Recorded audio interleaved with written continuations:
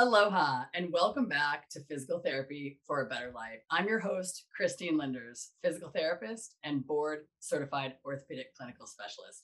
I have here joining me today um, my co host, Little Richie. He joined me in physical therapy school and helped me learn everything that I need to know. So, today we're going to be talking about Achilles tendonitis and plantar fasciitis. And you are going to learn the number one reason why you get these painful foot and ankle conditions.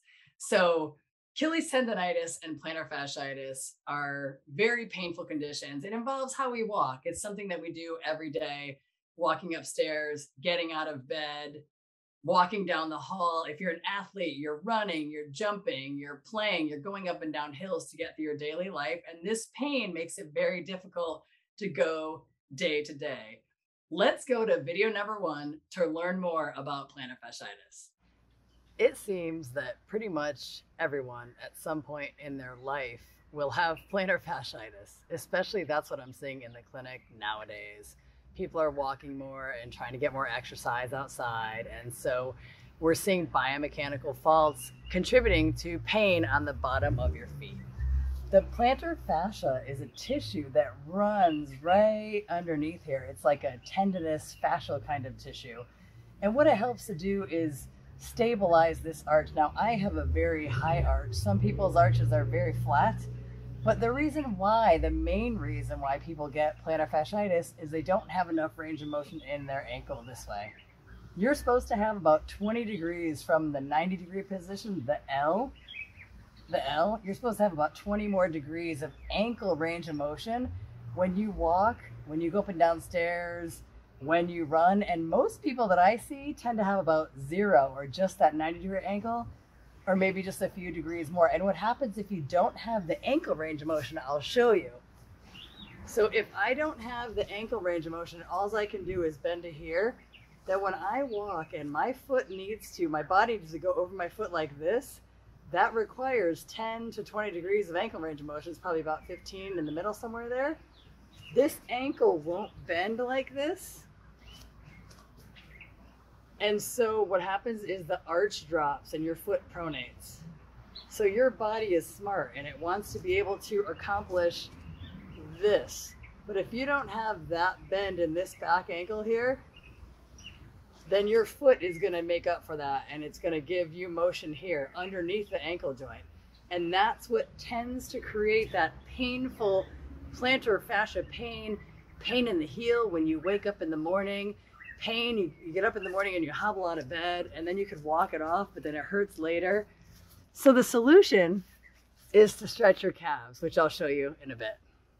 I love to explain the biomechanics to people because I think it's very important for us to understand why we're getting these things, why all of a sudden you have foot and ankle pain, why all of a sudden you can't walk anymore when you get out of bed without severe pain because a lot of these injuries they just creep up out of nowhere in most people. Oftentimes people will be doing a workout program or they're walking more and that's another reason why you can get these things. And the number one thing that you need to solve if you have plantar fasciitis is to stretch your calf. You need more ankle range of motion.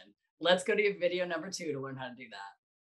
So you have plantar fasciitis. You get out of bed each morning and you're hobbling because you have such intense pain. You're not able to do your walking program and you're just uncomfortable. I know I've had it a few times in my life with my high arches.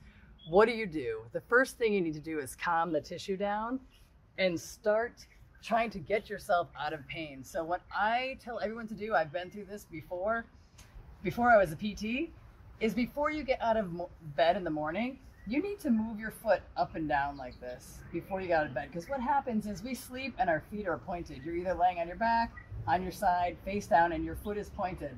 And that fascia is trying to heal all night long. And then you get up in the morning and you step on it and you re-tear it. You do those micro tears, and that's why you're like, oh, as soon as you get out of bed. So if you move your ankle up and down like that, I say 20 times before you get out of bed in the morning, mostly up is the most important part. You're gonna notice a dramatic difference in the pain when you get out of bed. At the end of your day, to get out of pain throughout the day, this is a little extreme, but I use this, and so do many of my patients. You can use a tennis ball and you massage very carefully not the bones on the ball of your foot and not on your heel, but the area in between. It's soft. Don't massage the bones with these balls. Lacrosse ball, tennis ball, golf ball. And you just go up and down longitudinally like that, massaging the plantar fascia. It will likely be painful, but you will find spots. And after you're done massaging it out, you will have so much less pain. You can also, at the end of your day, step on an ice pack and massage and uh, ice and calm down that tender area. You can do that several times throughout the day. But the most important reason you have plantar fasciitis is because you don't have enough ankle range of motion and you have to gain ankle range of motion. So there's two muscles that we need to focus and target when we're stretching our ankle to solve our plantar fascia problem. And that is your gastrocnemius. It crosses the knee joint and the ankle joint. So you're gonna put one foot in front of the other. You can hold onto something for some support. Your feet need to be in a straight line. You definitely don't wanna be like this with it turned out because you're just gonna strain the fascia and you don't even wanna be a little bit turned out like that. You wanna look down and make sure your back foot is in a straight line. You put the front foot forward and you bend the knee and stretch. I like dynamic stretching, so I will bend and release to stretch the gastrocnemius. I'll show you from the side straight foot, bend and release, bend and release. You can prop something under the first half of your foot here, like let's say a, yoga mat or a towel, bigger than this, to get more of a stretch if you have more range of motion. The soleus is the other muscle. It does not cross the knee joint, it crosses the ankle joint. And for that one, you don't need as big of a stance, but you bend the knee like this to stretch. That's how you stretch the soleus. We're stretching the back leg here. So right now you are solving the cause of your plantar fasciitis, but you still need to do with some strengthening of your foot and arch muscles. So I like to do toe curls. Many people do toe curls where you literally just curl your toes. Some people will put a towel down. I do it whenever. I stand at work and do it. I sit at the end of my day working on my laptop and do it. You can watch TV and curl your toes. You need to strengthen strengthen up all those little teeny muscles that support your foot to regain strength from the strain that has been happening because your calf didn't have enough range of motion. And you need an exercise band for the last one. I'm going to show you on my left. You sit on the band, put your foot flat on it so it goes up over your toes, straighten it out, and you don't have to pull really hard here, but you curl your toes, point your foot, and release. Curl your toes, keep the curl, point your foot. Curl your toes, keep the curl. That will further strengthen the intrinsic muscles that have been weakened while your arch has been collapsing because your calves will be tight. So I think I made it clear everyone needs to stretch their calves. Now, I mean everyone, not just people suffering from plantar fasciitis, not just those suffering with Achilles tendonitis. Everyone needs to stretch their calves. And it was a funny thing when I was living in New York City, I was seeing many patients coming in with back pain, knee pain, ankle pain, plantar fasciitis, Achilles tendonitis, and they weren't starting a new exercise program. They were just doing the same exact thing that they've been doing for years, which is walking to work, walking up and down subway stairs, carrying their briefcase. And so I did a little test myself, and every single person that came in, including people with neck and back pain, I would check their calves. And what I found is the majority of the people had about that L, that 90 degree angle, or just a little bit more, but they need 20 degrees of ankle range of motion. And so you saw in the first video the biomechanics I was explaining. If you don't have enough ankle range of motion, your arch can collapse, your shin bone rolls in, the knee bone rolls in, and then your your hip can collapse. And that is what can give you low back pain as well. So anyone watching the show, whether you have foot or ankle pain or not, stretch your calves. Make sure that you have the normal and the adequate range of motion to get through your day without giving yourself an injury that you don't know is even occurring. Okay, so back to plantar fasciitis. I have one more video to show you if you have a very painful arch. It's a taping technique that I use on myself, my patients. It's very simple and you can pretty much get tape anywhere right now. Let's go to video, the next video to show you how. If you have access to kinesiology tape, um, I like Kinesio tape. That's kind of the original. And if not, you can use some rock tape. It's really good. You can get your roll and you can cut about a, see, maybe like a this inch length, six inches, whatever it is from your the ball of your foot through your heel. You want to round the edges. And then this will help to support your arch if you have really bad plantar fascia pain. This saved me when I was having my flares years ago. So you want to, you can start the tape at the back to the front, or you can start the tape from the front to the back. I like to start it from the back to the front. And you want to get this area of your heel, the inside, not just the whole thing, but a little bit more towards the inside. You want to lay the tape down when your foot is at rest this way. And then you're going to lay it down. I'm pulling on the white stuff as I pull my ankle up towards me. And then you're going to pull your toes forward at the last second. And so then you have the tape on the bottom of your foot like that. And that will just help to support your plantar fascia while you're walking around during your day. You can also get over the counter orthotics or arch supports to put in your shoes, which while you're trying to heal from your plantar fasciitis, it will keep your arch up as you're gaining ankle range of motion. Okay, so that wraps up your plantar fasciitis. Do those things, they work. Don't forget ice at the end of your day. Ice if you have pain. There's micro tears and inflammation happening. And make sure before you get out of bed every morning that you move your ankle. Up is most important and down 20 times so that you don't re-tear that important fascia as you're healing.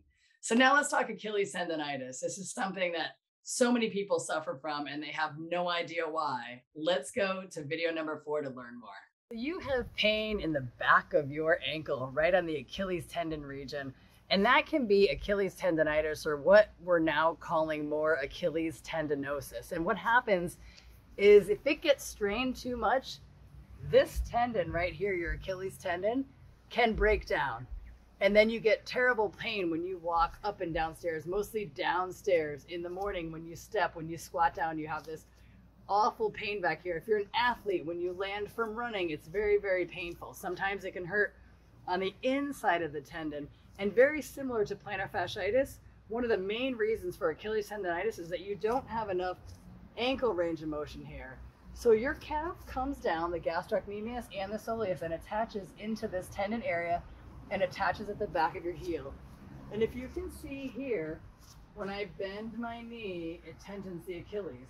If you don't have enough ankle range of motion and you are arches dropping like this, that Achilles tendon is getting twisted like this as the heel rolls in and your, your tibia, your calf muscle attached to the bone here, stays here it's getting twisted, twisted, twisted, and it breaks down over time. There's constant strain. If you're an athlete, a runner, a jumper, going up and downstairs frequently at home, whatever it is, if you've got a tight Achilles, tight gastroc, tight soleus, tight calf group, you can be at risk for Achilles tendonitis and you've got to stretch it out. Unlike plantar fasciitis, where we stretch the calf, Achilles tendonitis or tendinosis, it can be very painful to stretch. It could be painful at the Achilles when you stretch your calf. So there's other things that you can do. You need to stretch your calf and gain ankle range of motion, but you just don't want to cause yourself more Achilles tendon strain or pain while you're doing it. So you can roll your calf muscle out right here on a foam roller. You can massage it yourself with the heels of your hand this way. And I'm bending too. You can massage it this way. You can take a rolling pin, a baking rolling pin, and massage it out. You want to try to loosen it out, and you also want to do the stretching like you did the plantar fascia. You just have to be careful because you don't want to increase Achilles tendon pain by stretching it out. So you want to go easy and use pain as your guide.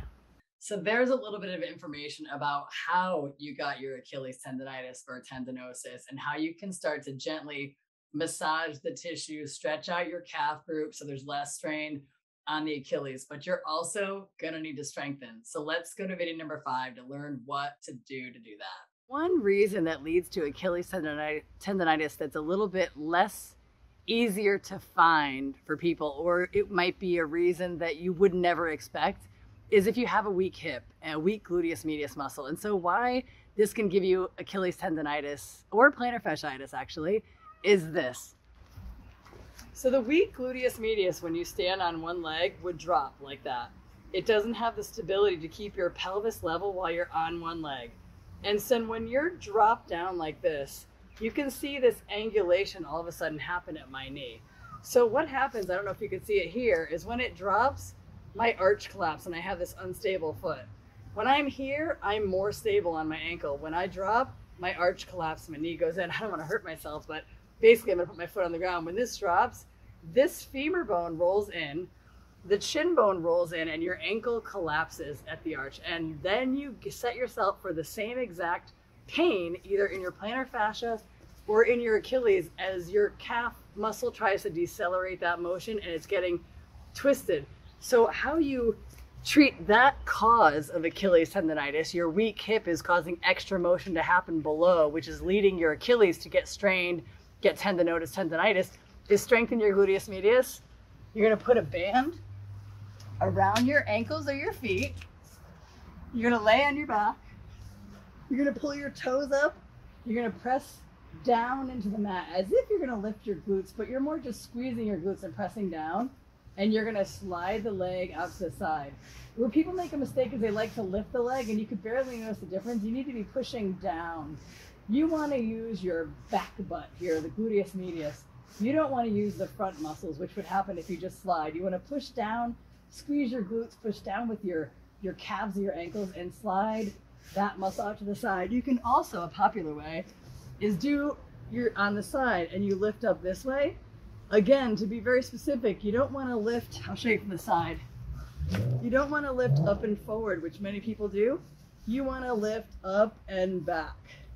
Up and back, because that's what the gluteus medius does to stabilize your pelvis on your leg when you're walking. So you get rid of your Achilles tendonitis and your plantar fasciitis. So all of those videos explain to you great stretches, great strengthens, great ways to alleviate your pain, whether it's in your plantar fascia or in your Achilles. But there's a couple other tips I want to give you that I share with my patients. And one of those things is that when you're standing or walking, I want you to look down at your feet and see if you tend to be walking or standing with one foot turned out to the side. Now, there's many reasons that can happen. People could have had a knee injury in the past, an ankle sprain, and been on crutches. You may have a bunion, which is a toe kind of deviating inward that causes you your foot to turn out. The reason why you want to pay attention to that is if if you're symmetrically toed out or you're symmetrically toed in, that's your structure. But if one is a little bit more than the other, that's and it's can be the side that you get the plantar fasciitis or Achilles tendonitis on, or even knee pain, you want to pay attention to that because that's abnormal movement. And over time, you're creating that arch collapse by having that one abnormally toed out.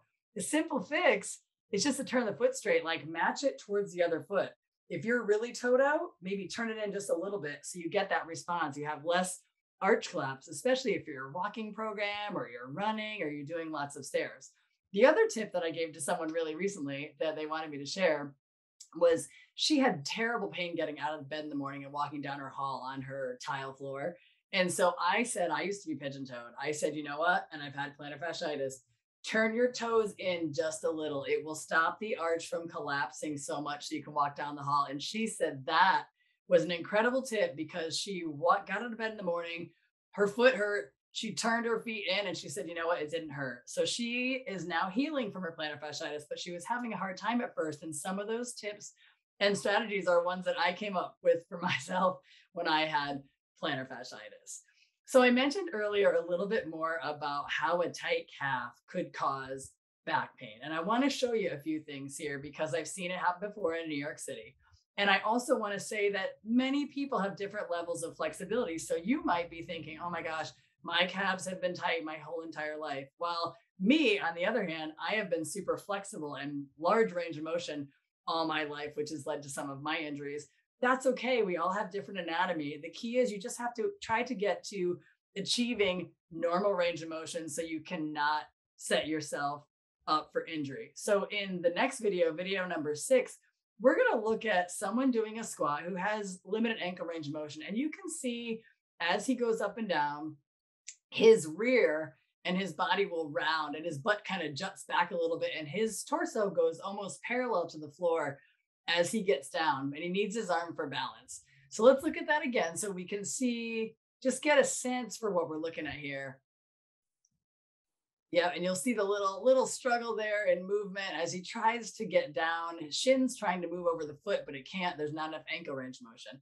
Let's go to video number seven And we'll see there's a little bit of a block that we put under the heel. It's a boogie board. And look at the smoothness of the movement. Look at that up and down. He's not struggling to keep his balance. His torso is no longer going parallel. Now, for for you know, for you guys, let's look back at number video number six so we can see the first one where you can see the limited ankle range of motion and how that's causing his butt to go back, his back to round. It's it's common to get a disc injury if you don't have ankle range of motion and you're lifting weights. Uh, one of my colleagues was telling me the other day on how he had hurt his back and he was such limited ankle range of motion. He had Achilles tendon tear and a surgical repair. And he said, Gosh, I attributed it to my ankle. I was lifting weights, I was doing squats, and my ankle would not bend. And now let's go back to video number seven, where we'll see the corrected position, which is what it would look like if you had normal range of motion in your ankle and how free and how smooth that deep squat is free and smooth, free and smooth. So let's pop to image number eight so you can see a difference in two people's ankle range of motion. So in the top, that's the gentleman that we just saw. That's him pulling his foot up as far as he can. And you can see it pretty much hits the L or that 90 degree angle. And if you look in the picture in the bottom, that's my ankle. And you can see it going well beyond to at least that 20 degree mark. And while both of us have had problems with Achilles tendonitis and me, plantar fasciitis as well, mine from the hip instability and the weakness, his from the lack of range of motion, you do the same thing. I was stretching my calf to make sure that I had proper adequate range of motion when it was tight. He's stretching his calf. I was strengthening my glute and doing all those curl point exercises and the toe curls to try to gain some stability for myself to stop the strain on my tissues and tendons, which worked. So we are all doing the same thing, but we're doing it to achieve different reasons. Me for stability to stop my tendonitis and my plantar fasciitis, him to get the range of motion so that his body has the normal range of motion. So while he's doing his sports and activities, he doesn't get the strain on his tendons. So I hope that helps for everybody. This has been really fun uh, to deliver this on plantar fasciitis and Achilles tendonitis, something I have suffered from as an athlete, and um, little tips to fix it. So I hope you learned something. I hope that you have any questions, you can send them to me. You can connect with me on LinkedIn. You just look up Christine Lynders. And as always, life is better when you listen to your physical therapist. Aloha and thank you, everyone.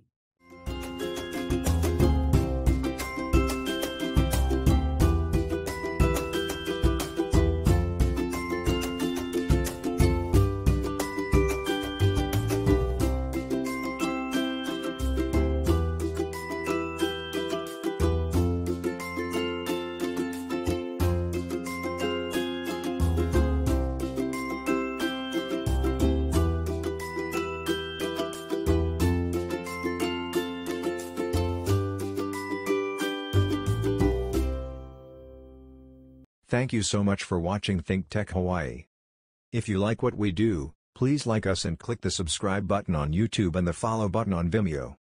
You can also follow us on Facebook, Instagram, Twitter, and LinkedIn, and donate to us at thinktechhawaii.com.